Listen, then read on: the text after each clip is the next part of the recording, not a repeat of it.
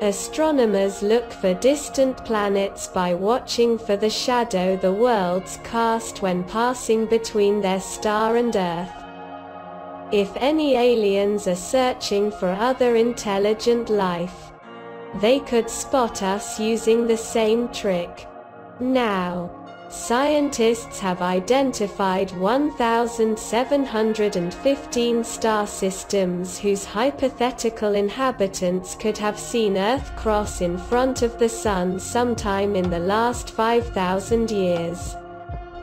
Another 319 stars will come into the right positions for spotting Earth in the next 5,000 years, astrophysicist Jackie Faherty and astronomer Lisa Kaltenegger report in the June 23 Nature.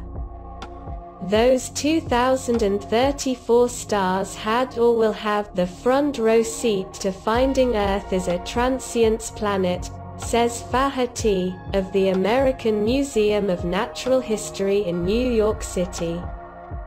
75 of the stars are close enough that human-made radio waves have already reached them, and seven of those stars have potentially habitable planets.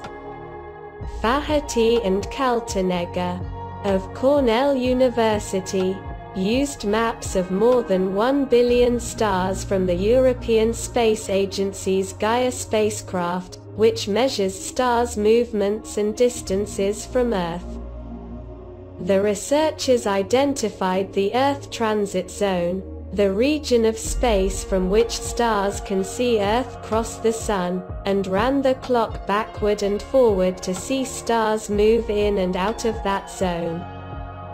The way I think about this is, where are we the aliens?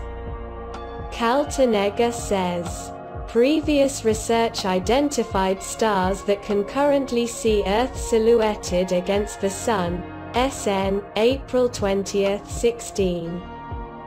But those studies did not take into account stellar movements through space and time. The new work shows that most star systems with a good look at Earth will keep that view for thousands of years.